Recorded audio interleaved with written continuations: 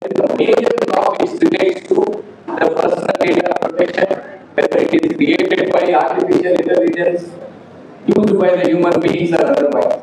And very small enactment with only 44 sections. And two important aspects need to be kept in mind. Everyone is a data principal. If your data is being collated, collected, used by someone else, you are the data principal. And data fiduciary is the one who is in possession of certain data. And the data of fiduciary has number of obligations. And when you are looking at the basis of such a law, again, it is the General Data Protection Regulation of 2016 of the European Union, which is the basis. We discussed that in a little from now. But look at this. We talk about social impact assessment. We talk about environmental impact assessment. This law speaks about data protection impact assessments. A new concept. New concept.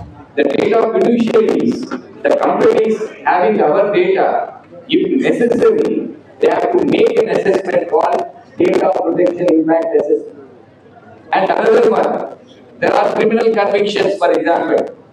If a person is convicted, found guilty, undergoes imprisonment, should he suffer from that stigma forever?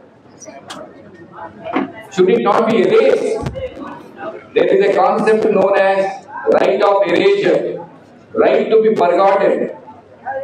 Out of the eight rights which are guaranteed to the data principles, these are the two important rights. So, the, the right to protection and erasure of personal data after a particular time, it depends on the contact between these. And uh, there is a provision for establishment of a data protection board of India, which is supposed to be a higher authority. From there, an appeal may be lying to the telecom regulatory authority of India. It is still in the nascent stage. This is the European law. The European law with regard to General Data Protection Regulation of 2016 and you can look at those catchwords. This particular regulation applicable to all the European Union countries, member countries. And that insists on the lawfulness of processing of the data.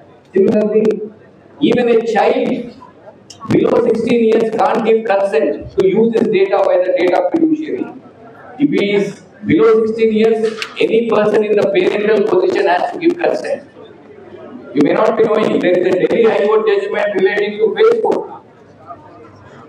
Child of 15 years can create Facebook account. They mentioned about 13 years and 14 years. So this is related to the consent. Is he capable of giving consent? If it is above 16 years, he can give consent. Others, the parents have to give consent. Right of erasure. This is the basis for such a right under the DPDP Act of India. Then, right to data portability. The, the data also can be transported, can be shared with the other agencies subject to certain conditions. Next. Similarly, the same data protection impact assessment was originally mentioned in the GDPR. The same thing is carried out under the Act. And there are certain officers called data protection officers. And these officers have number of, you know, impact rights and liabilities. And when you come to the remedies and penalties, you can see there are about, you know, seven or eight important provisions as far as the articles are concerned under the GDPR.